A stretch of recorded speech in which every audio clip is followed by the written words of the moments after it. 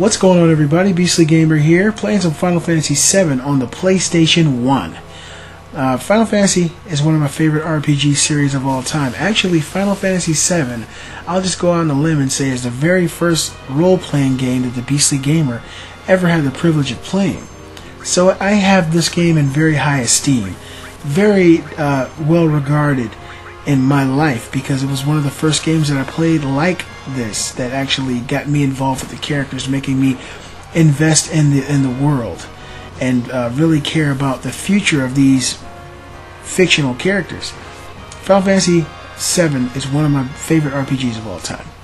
So today at the PlayStation Experience, which is uh, December 6th and December 7th, I saw a reveal, a reveal of Final Fantasy VII for the PlayStation 4. And uh, the way they started this reveal was they showed the start and continue screen, and I immediately knew what it was. I knew immediately it was Final Fantasy VII. so the hairs on the back of my neck stood up. They stood straight up. I, I thought that this was going to be something that it wasn't. Uh, let me just say that. So here I am getting extremely excited, you know, fever pitch. I feel like I'm in a cold sweat watching the screen.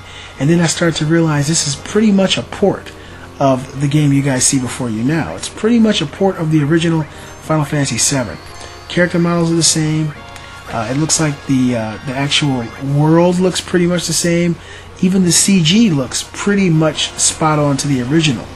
Now, graphically, it looks like this game has been cleaned up a little bit. There are lots and lots of jaggies in the original Final Fantasy VII. I haven't, I didn't see nearly as many in the little bit of footage that was showed at the PlayStation Experience today.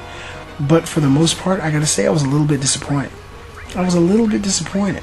Uh, I, I thought that with it being ported to the PlayStation 4, this many years after the original, that they would have actually, Square would have actually went in there and done some real maintenance and put a fresh coat of paint on a lot of the game. But it doesn't look like they did. It looks like they pretty much ported a PC port over to the PC PS4. I'm a little disheartened by that. I feel kind of bad about it. But I began to think, and these things started stewing in my mind. What's going on with Square? Square knows that there's millions of people who would pay top dollar for a legitimate Final Fantasy VII reboot or remake, and um, they know that there are people like myself who who cut their teeth on this game. They know that there are people out there who've been wanting this for a very very long time. And the fact that Capcom has been in trouble financially, they probably have to put a lot of resources into developing a brand new Final Fantasy VII from scratch, making it from scratch, rather than focus on the games they know that are making money. So I think this is a test. I think that Square is actually testing to see how many people would want a Final Fantasy VII game on a newer console, which to me really it shouldn't require a test because to me it's one of the best games I've ever played. Unfortunately, I know a lot of people who don't believe that, so maybe that's what Capcom is looking at. Capcom wants to know exactly how many people out there are willing to buy this game.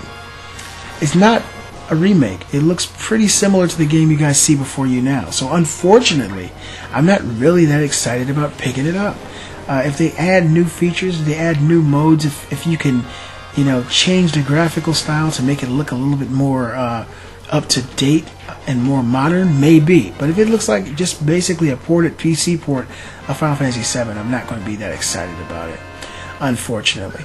As big a fan as I am in Final Fantasy, especially Final Fantasy VII, I I I could just go ahead and play this rather than pay another fifty or sixty dollars for a port of a game that's pretty much what I've been playing for the last fifteen years.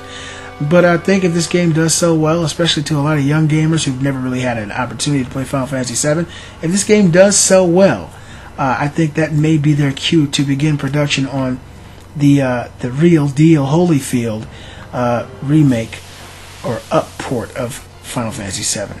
You guys let me know what you think about this story. Do you think that Square is only going to be making this basic port of Final Fantasy VII, or are they planning on releasing the real remake of Final Fantasy VII? God knows I hope they do, and I'm pretty sure a lot of you guys would agree with me on that. Let me know in the comment section below.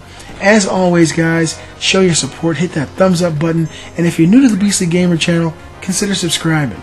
I'm the Beastly Gamer, and I'll see you guys next time.